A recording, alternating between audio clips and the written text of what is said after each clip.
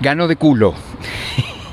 sí, em, cuando digo ganó de culo, hablo de la suerte, que es necesaria, imprescindible. Hay quienes dicen que mientras más laburo haces en torno a cualquier cosa, menos suerte necesitas.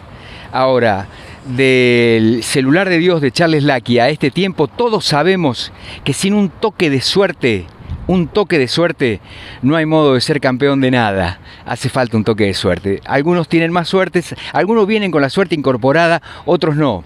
Otros tienen guiños del barba, como sucedió anoche con la CADE, como sucedió anoche con el entrenador, con Fernando Gago. A ver, eh, cuando digo suerte digo lo siguiente, para que me entiendan. De pronto Gago no tiene en los planes a Auche, ¿no? Gago no tienen los planes Auche. Me dicen los amigos de Racing, vieron que estamos haciendo una sinergia con el Flaco Azaro y con el resto de los chicos ahí, Jero este, y los demás haciendo transmisiones, haciendo el streaming de las, lo que se llaman reacciones en vivo, transmitiendo los partidos. Me dicen, che, no lo quiere. El tema es que Gago no lo quiere Auche. Digo, pero ¿cómo no lo quiere? Yo me resisto a pensar en estas cosas de no lo quiere. Eh, a ver, Palermo no se quería con Román. Palermo no se quería con Román.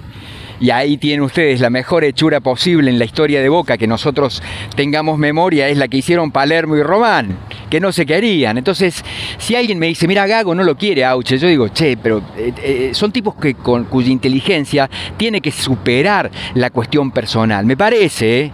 Debería superar el bien común, que le vaya bien a Racing, que Racing salga campeón, que llegue lejos en la Copa Libertadores o la Sudamericana o la que juegue, es más importante que este, en una de esas los intereses de eh, un intermediario, un representante, que eh, como traigo a esto, entonces este que traigo, que sea además el representante del entrenador, tiene prioridad por sobre los otros futbolistas. Dejémonos de embromar. No funciona así, no debería funcionar.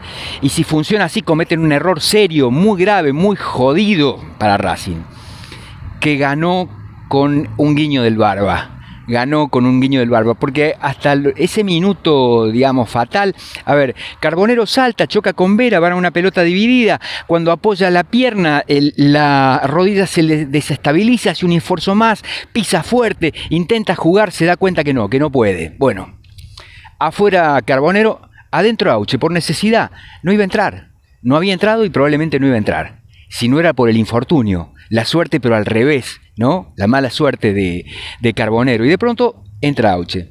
Y Auche cambia la historia del partido. El ingreso de Auche cambió la historia del partido. Es decir, un ingreso accidental que no estaba en los planes ni en la cabeza del entrenador termina abriéndole el partido al entrenador. Hasta ese momento era todo, era todo el tate. ¿eh? todo el tate. Agüed con su tranquilidad, con su tranco largo, con su parsimonia en la mitad de la cancha, junto con Cañete, se adueñaban de ese sector medio, eh, aislando a Romero, que no sabía bien para dónde ir, no sabía cómo, si tenía que ser nueve de área, si tenía que ser falso nueve, si tenía que tirarse a la derecha, si tenía que esperar. Digamos, era todo el tate, todo el tate. Hasta que se produce esta jugada. Pero además, entra Auche, jugada por la izquierda, centro que no fue centro, que fue un pase, toma y hacelo a la cabeza de Romero, cabezazo, gol 1 a 0, la historia cambia. Porque Unión se vuelve loco. Luna Dial se vuelve completamente loco. Le anulan un gol que cobra mal el árbitro a instancias en línea, cobra mal el árbitro a instancias en línea, lo revisan, no era gol porque no había entrado la pelota. Luna Dial se vuelve loco. No solamente este, se empieza a pelear con todos, con los propios compañeros, empieza a discutir con el árbitro, mete un planchazo descalificador uno menos. En 7-10 minutos, Unión, que parecía tener la cosa controlada, pasa a ser un equipo completamente vulnerable. Y Racing con tranquilidad, con oficio, daba la sensación de poder terminar ganando como lo ganó, por tres goles de diferencia, sin sufrir lo que tuvo que sufrir, sin ese momento de zozobra que significó la igualdad transitoria. Después, claro, aparece este, en toda su dimensión el pibe Rojas, que está bien, que hace mucho que está bien Rojas. Penal bien pateado es gol, ¿no? ¿Vieron? Vieron que este, lo hemos dicho en más de una oportunidad, penal bien pateado es gol, o sea, fuerte abajo, rasante contra el palo. Mele no iba a llegar, ni anoche ni nunca. 2 a 1 y después Paolo Guerrero, que con tranquilidad, pero otra vez Rojas, otra vez Rojas, otra vez Auche en la elaboración. De modo que la CADE, la CADE y especialmente su técnico, Fernando Gago, debería prestarle atención a estos guiños del Barba que no suceden todos los días. ¿eh? Jugar mal, ser superado por el adversario, hacer un cambio que vos no estaba en tus planes, que ese cambio te cambie el partido y que además este, eh, los tipos, Pasarela solía decir, el que se calienta, en fútbol el que se calienta pierde, y uno podría plantearse tranquilamente que en la vida el que se calienta pierde, en la vida el que se calienta pierde. Este, bueno, anoche Unión se calentó, Luna se calentó y el ganador fue Racing, que con este guiño del más allá la cosa esotérica, termina ganando un partido por ahí. Nosotros lo, simplificamos, decimos con culo, con suerte, este, para hacerlo más entendible. Pero no debería ser la gran Bielsa, Fernando Gago, no debería, no debería. Este, ¿Qué es la gran Bielsa? Hacer siempre lo mismo y esperar resultados distintos. Algunos definen eso esa es la definición de la locura, dicen algunos. Por ahí le cabe perfectamente a Bielsa. Yo le pregunté, ¿haría lo mismo si pudiera cambiar algo cuando volvió del Mundial de Japón? Me dijo, no, yo haría lo mismo. Entonces sería eyectado en primera ronda. Sí, sí, pero haría lo mismo. Bueno, anda a cagar. ¿Qué querés que te diga? Para algunos sienten que Bielsa es Gardel, le pera a los guitarristas, está todo bien, está todo bien. Yo, este, gracias, muy amable, digamos, le, le reconozco condiciones y todo lo demás, pero de edad no.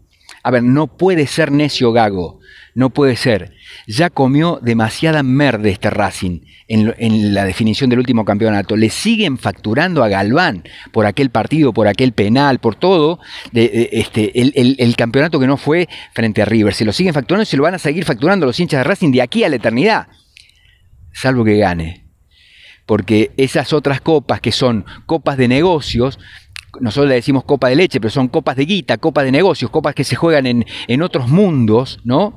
Que sí ponen la tarasquen, que es imprescindible, que es necesaria. ¿Cómo no va a ser necesaria si ahora Racing se va a tener que desprender de Rojas, de Matías Rojas, el mejor jugador que tiene, porque no puede igualar una oferta de afuera ahora en junio?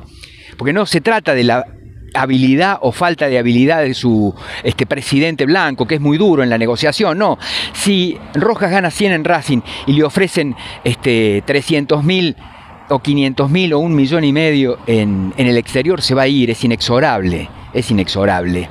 ¿No?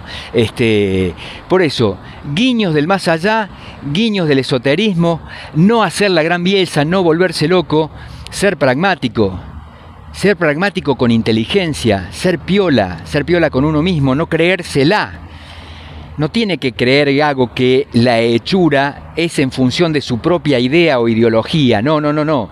Lo que tiene que ver Gago es el material que tiene. Y si el material que tiene es Auche y Auche le resuelve los problemas, juega Auche. Y si el 9 tiene que ser este, Paolo y Paolo y Auche le resuelven los problemas, el 9 tiene que ser Paolo y el 7 tiene que ser Auche. Es así de simple. Es así de simple el fútbol. Por más que haya quienes intentan con buena fe, por supuesto, meterle todas otras cuestiones de, aditamentos y, aderezos que, que, se vienen abajo con un zapatazo de 40 metros de, de, rojas, ¿no? O con un error en defensa, este, como la mala salida de Arias y el cabezazo, y etcétera, etcétera, etcétera.